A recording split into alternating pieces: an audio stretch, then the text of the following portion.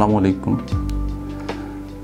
Bioflocs institute YouTube চ্যানেলের সকলকে স্বাগতম। আজকে আমাদের আলোচ্য বিষয় হলো সিলেকশন অফ প্রোবায়োটিক আমরা কী ধরনের বায়ো বায়োফ্লক্স ফিশ ফার্মিংয়ের ক্ষেত্রে আমরা কী ধরনের প্রোবায়োটিক নির্বাচন করব?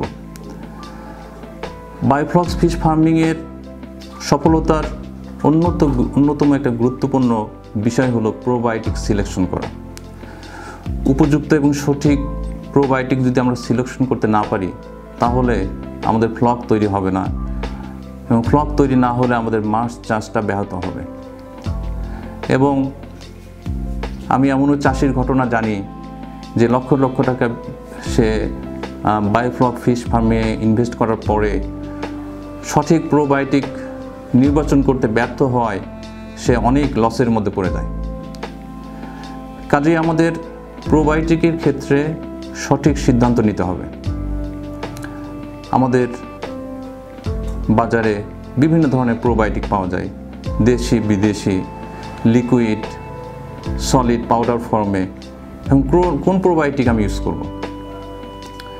এক্ষেত্রে আমাদের দেখতে হবে দেশি, বিদেশি আমরা যে প্রোবায়োটিকই নেই, আমরা পাউডার অথবা লিকুইড যেটাই নেই, এখানে দেখতে হবে যে আমার যে কোনো প্রোবায়োটিক দিয়ে আমার কাজ হতে হবে। কিন্তু আমার দেখতে হবে যে প্রোবায়োটিকের মধ্যে আমার প্রয়োজনীয় ব্যাকটেরিয়া আছে কিনা। বায়োফ্লক্স ফিশ ফার্মিংয়ের ক্ষেত্রে আমাদের যে ব্যাকটেরিয়াগুলো দরকার, এটা নাইট্রোফাইং ব্যাকটেরিয়া এবং হেটারোট্রপিক ব্যাকটেরিয়া ব্যাকটেরিয়া নাইট্রোফাইং ব্যাকটেরিয়ার কাজ কি?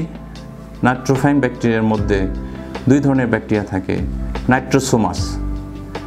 নাইট্রোসোমাসের কাজ হলো সে অ্যামোনিয়াকে সে নাইট্রাইটে রূপান্তর করে। নাইট্রোব্যাক্টার, আরেকটা নাইট্রোফাইং ব্যাকটেরিয়া, এটার কাজ হলো নাইট্রাইটকে নাইট্রেটে রূপান্তর করা। হ্যাটারোট্রপিক ব্যাকটেরিয়াগুলোর কাজ হলো এরা অ্যামোনিয়াকে সরাসরি প্রোটিনে রূপান্তর করে।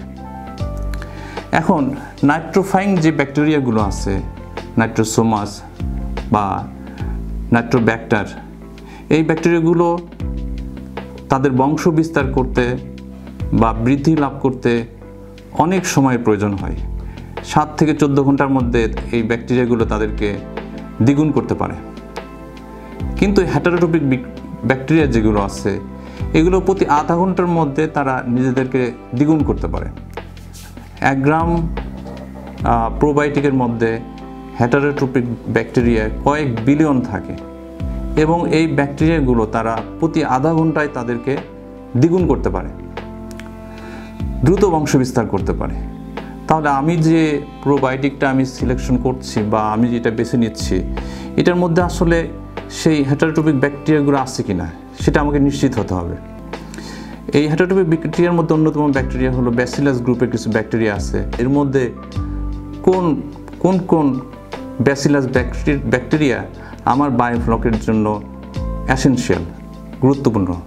এখন আমি যে প্রোবায়োটিকটা আমি ব্যবহার করব, সেখানে আসলে এই ব্যাসিলাস গ্রুপের ব্যাকটেরিয়াগুলো যেগুলো আমার ব্লক তৈরিতে প্রয়োজন, সেগুলো আছে কিনা সেটা আমার নিশ্চিত হতে হবে।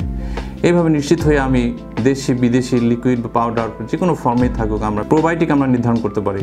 এবার সঠিক প্রোবায়োটিক যদি আমরা সিলেকশন করতে পারি, তাহলে আমাদের বায়োফ্লক শতভাগ সফল হওয়ার সম্ভাবনা আছে।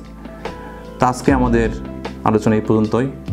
আগামীতে আমাদের অ্যামোনিয়া নাইট্রেট, নাইট্রাইট এবং এখান থেকে কীভাবে অ্যামোনিয়া একটা ট্যাঙ্কের অ্যামোনিয়ার ক্ষতিকর প্রভাবগুলো কি?